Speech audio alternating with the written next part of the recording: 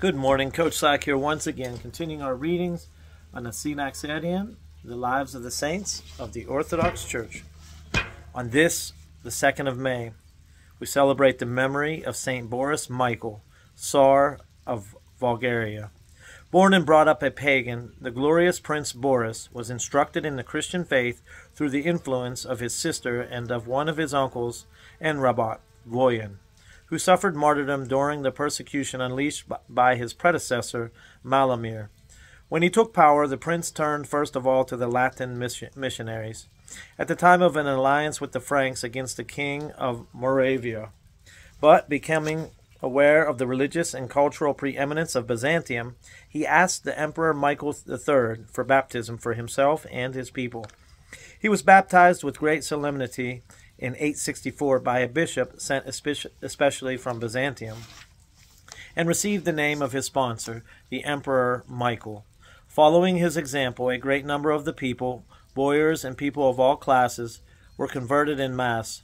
The Patriarch of Constantinople, St. Photios, sent the Tsar a letter setting out the duties of a Christian ruler, and then sent missionaries to Bulgaria. Boris made great efforts to organize his young church after the Byzantine model, but nurtured the hope of autonomy.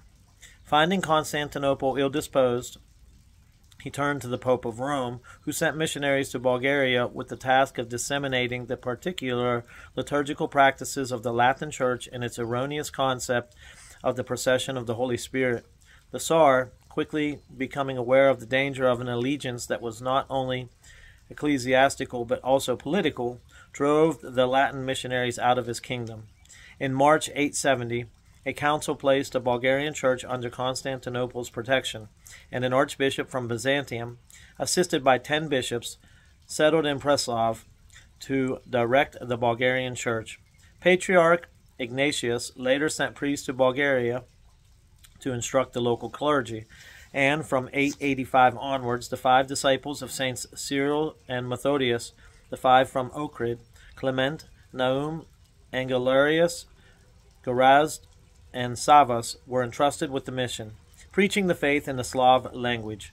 They progressively baptized the rest of the people, so that soon, through the Tsar's support, the territory of Bulgaria was covered with churches in which God's praises were sung in Slavonic.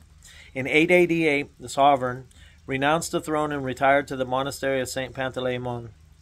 But when his son Vladimir, from 888 to, to 893, set himself to destroy his father's work by turning once more to the Latins and persecuting the Orthodox clergy, Michael laid aside his monastic garments and put on a soldier's uniform once more. He drove Vladimir from the throne and installed his younger son, Simeon.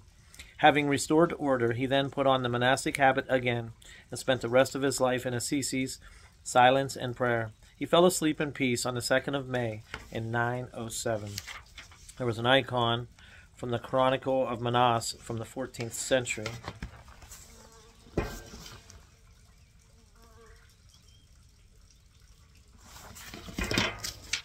Through the prayers of thy saints, Lord Jesus Christ, have mercy upon us. Amen.